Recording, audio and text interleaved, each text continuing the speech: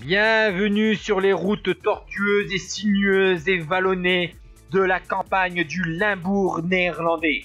C'est la 30e édition de l'Amstel Gold Race, 22 avril 1995. 256 km au programme, une trentaine de bergs à gravir, ces petits monts limbourgeois.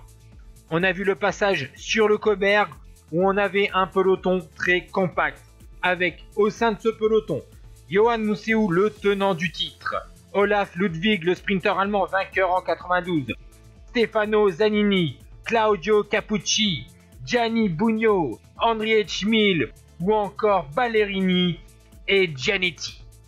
Les bergs suivants, bah on va voir encore des petites attaques, mais c'est la formation Lampré qui essaye de neutraliser les offensives, puisqu'au sein de son équipe, il y a un leader très dangereux pour ce type de course, Maurizio Fandries.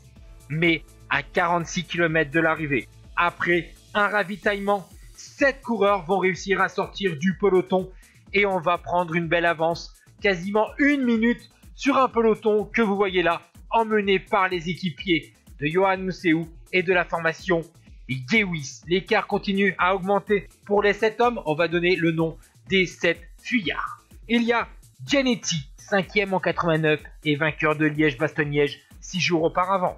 Cassani, un Italien, 7e en 93. Van le Belge, qui a provoqué cette échappée. Sberg, 7e de la Flèche Wallonne. Le champion d'Allemagne, Hefner, 3e en 93. Le Français Madouas, que vous voyez là avec son maillot de la Castorama. Et Kataï.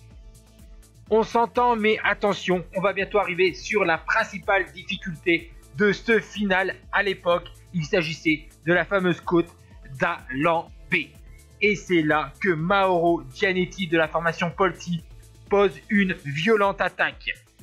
Un temps, Epner et Cassani vont accrocher la roue du Suisse.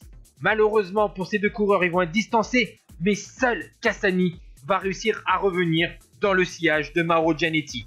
Malheureusement pour le Suisse, le leader de la formation Polti, eh bien Gianetti est le seul à rouler à l'avant de la course, tandis que notre ami Cassani suce la roue pendant les derniers kilomètres. On va bientôt arriver dans la dernière ligne droite à Maastricht pour savoir qui va remporter cette 30e édition. C'est Castani, Roublard qui essaye de lancer le sprint, mais on voit qu'il est trop court et Mauro Gianetti était bien le plus fort aujourd'hui et remporte ainsi l'Amstel Gold Race. Il réalise le doublé comme Eddy Merckx. Amstel Gold Race doyenne. Derrière, c'est le sprint pour la troisième place réglée par Beatsberg devant Olaf Ludwig, Jesper Skibi, Alberto Eli, Johan Mousseou, Stefan Rooks, Gianluca Bartolami et Michele Bartoli qui conclut donc ce top. C'est la deuxième victoire suisse sur l'Amstel après Jairman en 1993.